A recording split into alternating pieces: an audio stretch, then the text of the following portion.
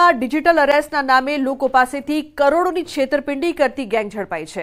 Cyber ક્રાઇમની ટીમે ચાર લોકોની ધરપકડ કરી છે. આરોપીઓ પોતાનું બેંક એકાઉન્ટ ભાડે આપી અને ભારતીય રૂપિયાને ક્રિપ્ટોકરન્સીમાં બદલી વિદેશ મોકલતા હતા.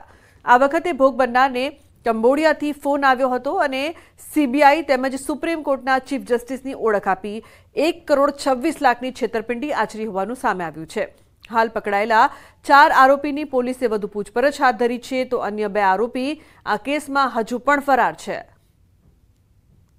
જે કરવાવાળી ગેમ છે, ઇન્ડિયાની બહાર બેઠી છે, એમને જરૂર હોય છે કે ડમી એકાઉન્ટની જેમાં આ લોકો ફ્રોડના પૈસા જમા કરે છે. પછી આ ફ્રોડના પૈસા ઇન્ડિયાથી બહાર લઈ જવા માટે એ એવા એજન્ટોનો કોન્ટેક્ટ કરે છે, જે એમને આ મની જે ક્રિપ્ટોકરન્સી કે યુએસડીટીમાં કન્વર્ટ કરી આપે. સરકારે ખેડૂતો માટે એક હજાર ચારસો ઓગણીસ કરોડનું પેકેજ જાહેર કર્યું છે, જેનો રાજ્યના વીસ જિલ્લાના ચાર પોઈન્ટ ઓગણીસ લાખથી વધુ ખેડૂતોને લાભ મળશે. આઠ પોઈન્ટ પાંચ લાખ હેક્ટર જમીનના ખેડૂતોને સહાય ચૂકવાશે. રાજ્ય સરકાર આ અગાઉ ઓગસ્ટમાં ત્રણસો પચાસ કરોડનું પેકેજ જાહેર કરી ચૂકી છે. ગુજરાતમાં ઓગસ્ટ મહિનામાં પડેલા વરસાદ બાદ થયેલા પાક નુકસાનને લઈને રાજ્ય સરકાર દ્વારા ખેડૂતો માટે ચૌદસો ઓગણીસ કરોડની આર્થિક સહાયની જાહેરાત કરાઈ છે. જેમાં વીસ જિલ્લાના એકસો છત્રીસ તાલુકામાં છ હજાર આઠસો બાર ગામનો સમાવેશ કરવામાં આવ્યો છે. મહત્વનું છે કે ખેડૂતો માટે મહત્વના સમાચાર રાહત પેકેજ છે તે જાહેર કરવામાં આવ્યું છે. ઓગસ્ટ મહિનામાં થયેલ નુકસાન અંગે સહાય જાહેર કરવામાં આવી.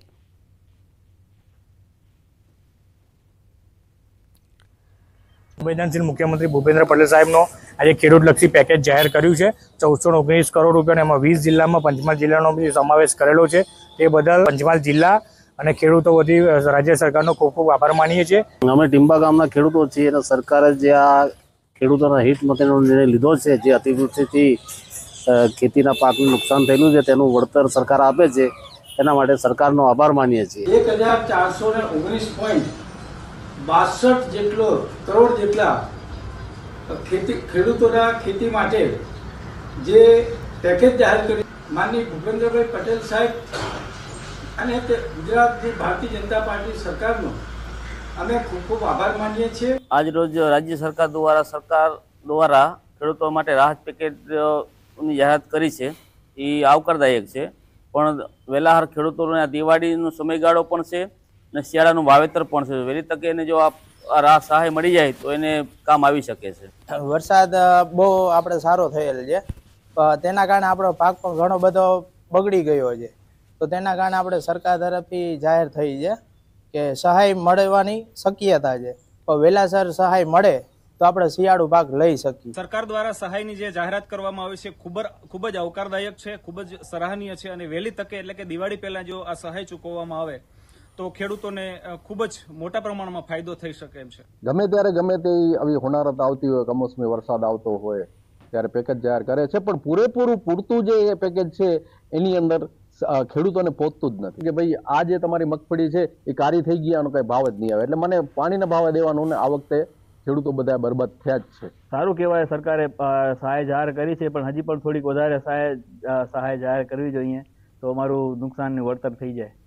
ખોડિયા લારી ગલ્લા ધારકોનો હલ્લા બોલ સેવા સદને એકઠા થઈને હોબાળો કર્યો. દિવાળીના તહેવાર સમયે જ તંત્રએ રોજીરોટી છીનવી. લારી ગલ્લા દૂર કરાતા નાના વેપારીઓમાં ભારે રોષ છે. જગ્યા આપો, નહીં તો દવા આપોની માંગ કરી. ઉકેલ નહીં આવે તો આવતીકાલે ભૂખ હડતાળની ચીમકી પણ આપી છે.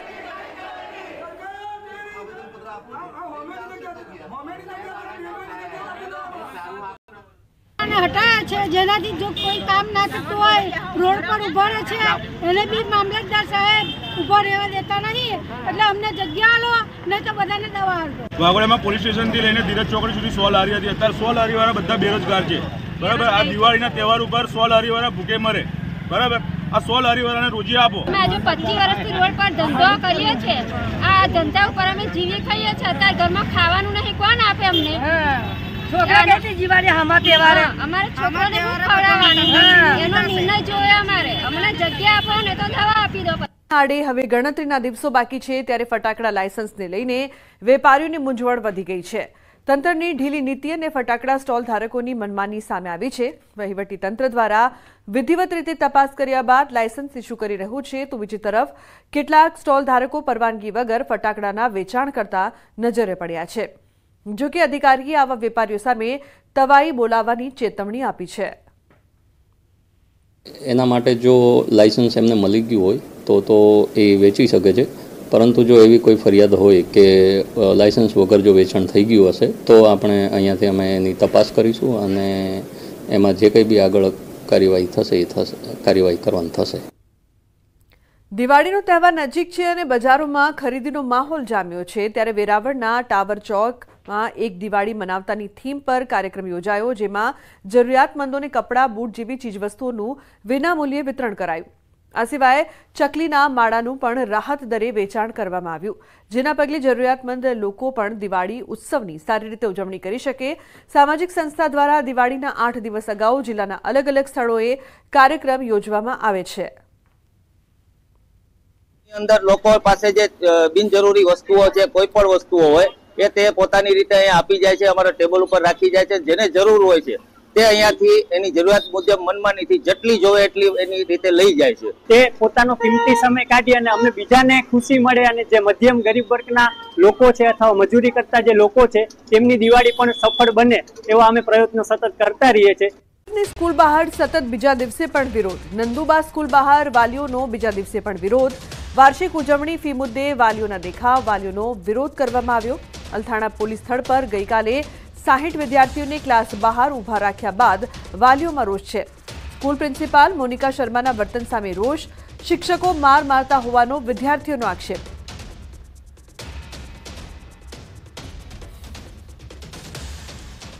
बच्ची को बोला है इन लोगों ने कि कल से स्कूल नहीं भेजने का। एनुअल फ़ंक्शन की फ़ीस नहीं की है तो कल से स्कूल स्कूल में? नंदुबा एकेडमी दर्शन गांधी सर ने ऐसा बोला है मुझे। और कल मेरी बच्चे को टॉयलेट के सामने टिफ़िन करवाया इनको टिफ़िन एक बार टॉयलेट के सामने बिठा के करो तब मेरा बदला पूरा होगा। मुझे इसका कोई सोल्यूशन नहीं चाहिए। मैं एक बार और मैं इस साल मेरी बच्ची का टीसी लेके चाहिए। मुझे आज के आज टीसी चाहिए। और जो मेरा एग्ज़ाम हुआ है एक टर्म की फ़ीस भी मुझे चाहिए। અમદાવાદમાં પરમિશન વગર પ્રવાસ યોજવા બદલ વધુ એક સ્કૂલને ભારે પડ્યું છે. બોપલની શિવાશિષ સ્કૂલે મંજૂરી વગર પ્રવાસનું આયોજન કર્યું હતું. વિદ્યાર્થીઓને લઈને મહારાષ્ટ્રના લોનાવલાનો પ્રવાસ યોજ્યો હતો. ધોરણ નવ અને દસના એકસો પિસ્તાળીસ વિદ્યાર્થીઓને લોનાવલા લઈ જવાયા હતા. પ્રવાસ માટે શિક્ષણ વિભાગની મંજૂરી ન લીધી તો આ સમગ્ર મામલે અમદાવાદ ગ્રામ્યના ડીઈઓએ જણાવ્યું છે કે શાળાને બેથી ત્રણ લાખનો દંડ કરવામાં આવી શકે છે. આવી ભૂલ ન થાય તે માટે શાળાના આચાર્ય સામે કાર્યવાહી માટે પણ સૂચના અપાઈ છે. અમે એકચ્યુઅલી એકચ્યુઅલી દરેક વર્ષે એજ્યુકેશનલ ટૂરનું આયોજન કરતા હોઈએ છીએ અને આ વખતે સરકારશ્રીનો પ્રતિબંધ હતો અને એનો જે પરિપત્ર હતો એ થોડું ધ્યાન બહાર ગયું છે. પણ વાલીઓ અને ભાઈ અમારા જે સ્ટુડન્ટ છે, એ લોકોનો આગ્રહ હતો કે, સર, પ્રવાસ કરવો એમ. એટલે અમે પ્રવાસ ત્યાં આપણે મહારાષ્ટ્ર ખાતે કર્યો છે અને એ ભૂલ છે અમારી. પણ હવે ડીઓની કાલે નોટિસ મળી છે, એનો આજે રૂબરૂમાં અમે લોકો જવાબ આપવાના છીએ. આ ભૂલને ક્ષમ્ય ગણી શકાય એમ નથી. જેથી અમે સંચાલકશ્રીને જણાવેલ છે કે શાળાના આચાર્ય સામે કાર્યવાહી કરે અને સાથે સાથે અમે શાળા સામે દંડની પણ કાર્યવાહી કરીએ છીએ, જેથી અન્ય કોઈ શાળા આ પ્રકારે વિના મંજૂરીએ પ્રવાસ ન કરે અને બાળકોનું હિત જોખમમાં ન મૂકે. દિવાળી પહેલા ગુજરાત હાઈકોર્ટે દાહોદના વેપારીઓને મોટી રાહત આપી છે. દાહોદમાં નકલી એને મામલે બચાવ પક્ષના વકીલ દાહોદ પહોંચ્યા હાઈકોર્ટ દ્વારા જમીન માલિકોને સાંભળવા ડાયરેક્શન આપ્યું. ઉત્કર્ષ દવે જણાવ્યું કે પાંચ વર્ષથી વધુ સમયથી વેરો લેવામાં આવતો હતો. બાંધકામની મંજૂરી તેમજ દસ્તાવેજ કરવા સમયે તંત્ર કેમ ન જાગ્યું? સોથી વધુ દુકાન માલિકોને મામલતદાર દ્વારા નોટિસ અપાઈ હતી. સરકારી જમીન ઉપર ગેરકાયદેસર બાંધકામ કરાતા નોટિસ અપાઈ હતી. નામદાર ગુજરાત હાઈકોર્ટની અંદર દાહોદ જિલ્લાના મામલતદાર સાહેબને નિર્દેશ આપવામાં આવ્યો છે કે આ સંપૂર્ણ પક્ષકારોની વાત, કાગળિયા અને તમામ રજૂઆતો જોઈને આપ આ સંપૂર્ણ મેટરનું કાયદાકીય નિકાલ કરશો. Strictly he has to act in accordance with law ત્રીને સેકન્ડમાં જ પાણીની ટાંકી જમીન દોસ્ત. વાપી જીઆઈડીસીના હંડ્રેડ શેડ વિસ્તારની ઘટના. વર્ષો જૂની જર્જરિત પાણીની ટાંકીને તોડી પડાઈ. માત્ર ત્રણ સેકન્ડમાં જ તોતિંગ ટાંકી કકડભૂસ થઈ. ટાંકી ધરાશાયી થવાના લાઈવ દ્રશ્યો કેમેરામાં કેદ થયા છે. ઘટનાને પગલે વિસ્તારમાં થોડા સમય માટે ધૂળની ડમરી ઓળી હતી. તો ટાંકી ધરાશાયી થવાના લાઈવ દ્રશ્યો સામે આવ્યા. માત્ર ત્રણ સેકન્ડની અંદર ટાંકી છે તે જમીનદોસ્ત થઈ ગઈ હતી. જર્જરિત પાણીની ટાંકીને તોડી પડાઈ. અમદાવાદના એસજી હાઈવે પરના વાયએમસી ક્લબ પાસે અકસ્માતની ઘટના સામે આવી. પાઇપો ભરેલી ટ્રકની પાછળ ડમ્પર ઘૂસી જતા અકસ્માત. અકસ્માતમાં ડમ્પર ચાલકનું સ્થળ પર મોત નીપજ્યું. ફાયર બ્રિગેડે ફસાયેલ ડમ્પર ચાલકનો મૃતદેહ બહાર કાઢ્યો. તો ટ્રાફિક પોલીસે અકસ્માત અંગે તપાસ હાથ ધરી છે. દ્વારકાના ખંભાળિયામાં ખુલ્લી ગટરો હાલ શહેરીજનોના માથાનો દુખાવો બની છે. ખંભાળિયા પાલિકાની બેદરકારીનો ભોગ એક રિક્ષા ચાલક બન્યો. ખુલ્લી ગટરમાં એક રિક્ષા ફસાઈ ગઈ હોવાનો વીડિયો વાયરલ થયો છે. ખંભાળિયામાં રેલવે સ્ટેશન રોડ પર ખુલ્લા ગટરના ઢાંકણમાં રિક્ષાનું ટાયર ફસાયું હતું. પાલિકાની બેદરકારીના કારણે વાહન ચાલકો મુશ્કેલીમાં મુકાયા છે.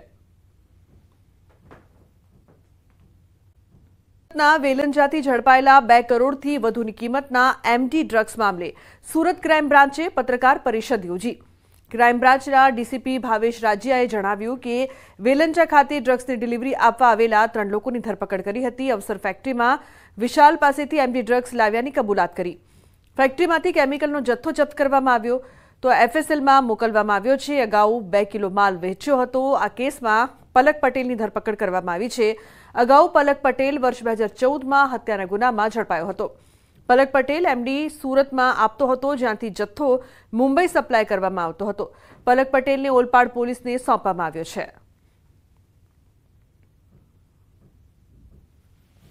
ક્રાઇમ બ્રાન્ચની બીજી ટીમે ભરૂચ એસઓજીની ટીમ સાથે એક અવસર એન્ટરપ્રાઇઝમાં પણ રેડ કરી હતી.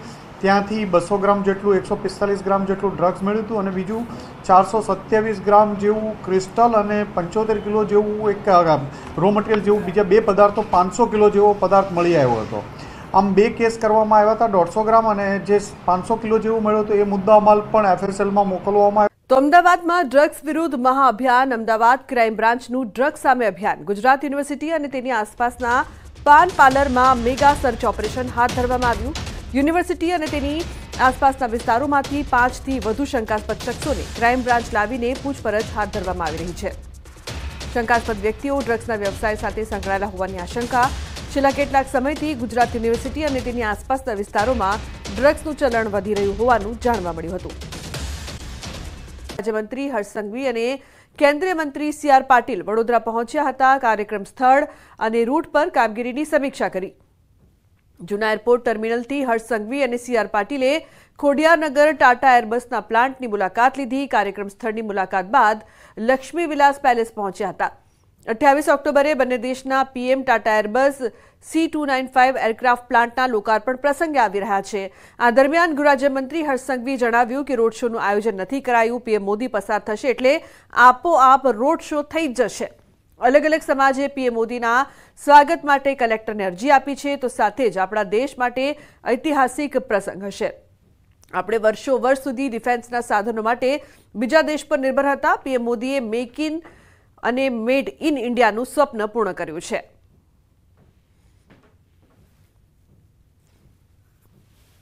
આ પ્રોજેક્ટના લોકાર્પણ પ્રસંગે બેઉ દેશના પ્રધાનમંત્રી શ્રી જ્યારે અહીંયા પહોંચવાના છે, વડોદરા ખાતે મહેમાન બનવાના છે, તેને લઈને વડોદરા શહેરના નાગરિકોમાં, ગુજરાતના નાગરિકોમાં ખૂબ જ ઉત્સુકતા છે. લોકોમાં ઉત્સાહ છે.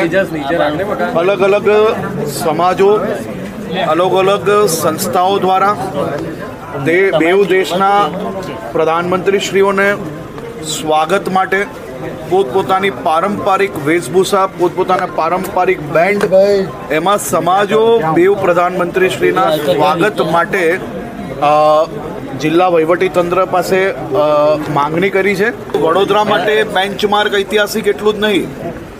બરોડા નહીં, ગુજરાત નહીં, આખા દેશ માટે આ ઐતિહાસિક પ્રસંગ બનવા જઈ રહ્યો છે. આપણા માટે ખૂબ ગર્વની વાત છે કે આપણી આ ધરતી પર આવનારા દિવસોમાં જે તમે કોઈ દિવસ કોઈ કલ્પના કરી હતી કે આપણા ડિફેન્સના પ્લેન એ આપણા દેશની ધરતી પર બનશે અને એ બી આવનારા દિવસોમાં આપણા વડોદરાની ધરતી પર બનવાના છે. એક એક વડોદરાવાસી એક એક ગુજરાતી એક એક ભારત દેશના નાગરિકોને ગર્વ જરૂરથી થાય કે જે ડિફેન્સની ઇક્વિપમેન્ટ આપણે વર્ષો વર્ષ સુધી બીજા દેશ પર નિર્ભર હતા. આજે મોદીજીએ આ સપનું સાકાર કર્યું. મોદી અને સ્પેનના વડાપ્રધાન પેડ્રો સાંચેઝ વડોદરાની મુલાકાતે આવવાના છે ત્યારે બંને દેશના પીએમના આગમનને લઈને તૈયારીઓ પૂરજોશમાં ચાલી રહી છે. ગૃહરાજ્યમંત્રી હર્ષ સંઘવી અને કેન્દ્રીય મંત્રી સી આર પાટીલ વડોદરા પહોંચ્યા હતા કાર્યક્રમ સ્થળ અને રૂટ પર કામગીરીની સમીક્ષા કરી. જૂના એરપોર્ટ ટર્મિનલથી હર્ષ સંઘવી અને સી આર પાટીલે ખોડિયારનગર ટાટા એરબસના પ્લાન્ટની મુલાકાત લીધી. કાર્યક્રમ સ્થળની મુલાકાત બાદ લક્ષ્મી વિલાસ પેલેસ પહોંચ્યા હતા. અઠ્યાવીસ ઓક્ટોબરે બંને દેશના PM Tata Airbus C two nine five aircraft પ્લાન્ટના લોકાર્પણ પ્રસંગે આવી રહ્યા છે.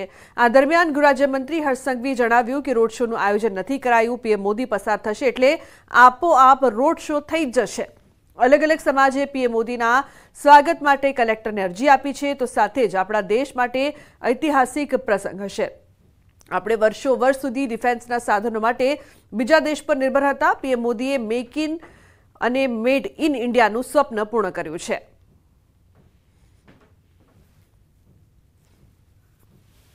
આ પ્રોજેક્ટના લોકાર્પણ પ્રસંગે બેઉ દેશના પ્રધાનમંત્રી શ્રી જ્યારે અહીંયા પહોંચવાના છે, વડોદરા ખાતે મહેમાન બનવાના છે, તેને લઈને વડોદરા શહેરના નાગરિકોમાં, ગુજરાતના નાગરિકોમાં ખૂબ જ ઉત્સુકતા છે. લોકોમાં ઉત્સાહ છે. અલગ અલગ સમાજો, અલગ અલગ સંસ્થાઓ દ્વારા તે બેઉ દેશના પ્રધાનમંત્રીશ્રીઓને સ્વાગત માટે પોતપોતાની પારંપરિક વેશભૂષા, પોતપોતાના પારંપરિક બેન્ડ એમાં સમાજો બેઉ પ્રધાનમંત્રીશ્રીના સ્વાગત માટે જિલ્લા વહીવટી તંત્ર પાસે માંગણી કરી છે. વડોદરા માટે બેન્ચમાર્ક ઐતિહાસિક એટલું જ નહીં. બરોડા નહીં, ગુજરાત નહીં, આખા દેશ માટે આ ઐતિહાસિક પ્રસંગ બનવા જઈ રહ્યો છે. આપણા માટે ખૂબ ગર્વની વાત છે કે આપણી આ ધરતી પર આવનારા દિવસોમાં જે તમે કોઈ દિવસ કોઈ કલ્પના કરી હતી કે આપણા ડિફેન્સના પ્લેન એ આપણા દેશની ધરતી પર બનશે અને એ બી આવનારા દિવસોમાં આપણા વડોદરાની ધરતી પર બનવાના છે. એક એક વડોદરાવાસી એક એક ગુજરાતી એક એક ભારત દેશના નાગરિકોને ગર્વ જરૂરથી થાય કે જે ડિફેન્સની ઇક્વિપમેન્ટ આપણે વર્ષો વર્ષ સુધી બીજા દેશ પર નિર્ભર હતા. આજે મોદીજીએ આ સપનું સાકાર કર્યું. અમદાવાદમાં નરેન્દ્ર મોદી ક્રિકેટ સ્ટેડિયમમાં પ્રથમવાર રમાશે મહિલા આંતરરાષ્ટ્રીય વનડે મેચ. ભારત અને ન્યૂઝીલેન્ડ મહિલા ટીમ વચ્ચે મેચ રમાશે. મહિલા ક્રિકેટને પ્રોત્સાહન આપવા બીસીસીઆઈ સેક્રેટરી જય શાહનો મહત્વપૂર્ણ નિર્ણય. જીસીએ સાથે સંકળાયેલા જિલ્લાઓની સ્કૂલોના બાળકોને અપાશે ફ્રીમાં ટિકિટ. ત્રીસ હજારથી વધુ ટિકિટો સ્કૂલના બાળકો, તેમના વાલીઓ અને એનજીઓને ફ્રીમાં આપવાનો નિર્ણય કર્યો છે. આઈ કાર્ડના આધારે સ્ટેડિયમ પરથી આપવામાં આવશે ટિકિટ.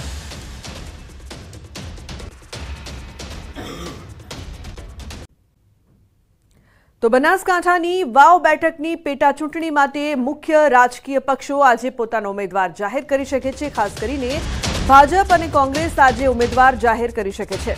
પચીસ તારીખે બંને પક્ષના ઉમેદવારો ફોર્મ ભરશે, સૂત્રો જણાવી રહ્યા છે કે કોંગ્રેસમાં ગુલાબસિંહ રાજપૂતનું નામ ફાઇનલ છે. ભાજપમાં સ્વરૂપજી ઠાકોર, મુકેશજી ઠાકોર, અમીરા માનસલ માવજી પટેલના નામ ચર્ચામાં.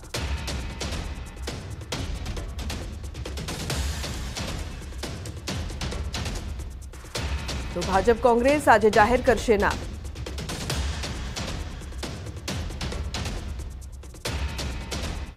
ઘણા એમ રાખે પોતાની સીટ જીતાડવા માટે આજુબાજુ જ્યાં ગોઠવણ કરવાની કરે, પણ આપણે કોઈ ગોઠવણ કોઈ દિવસ કરી નથી આજે પણ કહું છું જેને પણ લડવાનું થશે એના માટે તન, મન ને ધનથી બધા મહેનત કરશું. વાત દાનાને જોતા હવામાન વિભાગે ચોવીસ, પચીસ ઓક્ટોબરે બંગાળ અને ઓડિશા સહિત ઘણા રાજ્યોમાં ભારે વરસાદની આગાહી કરી છે. પશ્ચિમ બંગાળના પૂર્વ મેદિનીપુર જિલ્લાના દીઘા વિસ્તારમાં ભારે ભરતી સાથે હવામાનમાં ફેરફાર જોવા મળ્યો હતો. આ વાવાઝોડાની અસર ઓડિશાથી લઈને બંગાળ, બિહાર અને ઝારખંડ સુધી જોવા મળી શકે છે. ઓડિશામાં આજે અને કાલ સુધી ચક્રવાત દાનાને લઈને દરેક જગ્યાએ તકેદારી વધારી દેવામાં આવી છે. ઓડિશા અને બંગાળમાં તોફાનથી બચવા માટે વ્યાપક તૈયારીઓ કરવામાં આવી છે. ઓડિશામાં એનડીઆરએફની બસો અઠ્યાસી ટીમો તૈનાત કરવામાં આવી છે. તો વાવાઝોડાની તીવ્રતાનો અંદાજ લગાવીને ચૌદ જિલ્લાના દસ લાખ લોકોને સુરક્ષિત કેમ્પમાં ખસેડવામાં આવી રહ્યા છે. આ વાવાઝોડાની અસર ઓડિશાથી લઈને બંગાળ, બિહાર અને ઝારખંડ સુધી જોવા મળી શકે છે. આ વાવાઝોડું રાષ્ટ્રીય ઉદ્યાન અને પુરીના ઘમરા બંદરની વચ્ચે સપાટી પર લેન્ડફોલ થઈ શકે છે. હવામાન વિભાગના મતે બંગાળની ખાડીમાં બનેલું ડીપ પ્રેશર ક્ષેત્ર ચક્રવાતનું રૂપ લઈ રહ્યું છે અને પંદર કિલોમીટર પ્રતિ કલાકની ઝડપે ઓડિશા તરફ આગળ વધી રહ્યું છે. હાલમાં તે પારાદીપથી પાંચસો સાહીઠ કિલોમીટર અને સાગરદ્વીપથી છસો ત્રીસ કિલોમીટરના અંતરે છે. આજે રાત્રે અથવા શુક્રવાર પચીસ ઓક્ટોબરની સવારે તે પૂરી કિનારે અને બંગાળના સાગર દ્વીપ કિનારે અથડાશે. આ સમયગાળા દરમિયાન પવનની ગતિ સોથી એકસો વીસ કિલોમીટર પ્રતિ કલાકની રહી શકે છે. હવામાન વિભાગે આજે અને કાલે બંગાળ અને ઓડિશા સહિત ઘણા રાજ્યોમાં ભારે વરસાદની આગાહી કરી છે.